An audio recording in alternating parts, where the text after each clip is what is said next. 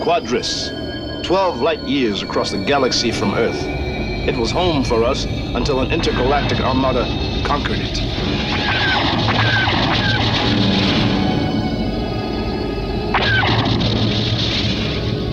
I fought by the royal family's side, but in vain.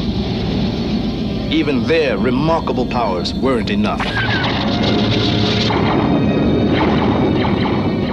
Crown Prince and I escaped to the nearest planet on which we could survive and further his powers in order to someday return to free his people.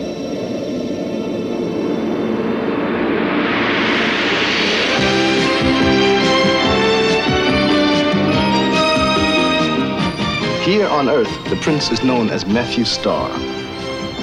He's a typical American teenager. He has friends, people who love him, and me, his guardian. I'm the only one who knows how special he is.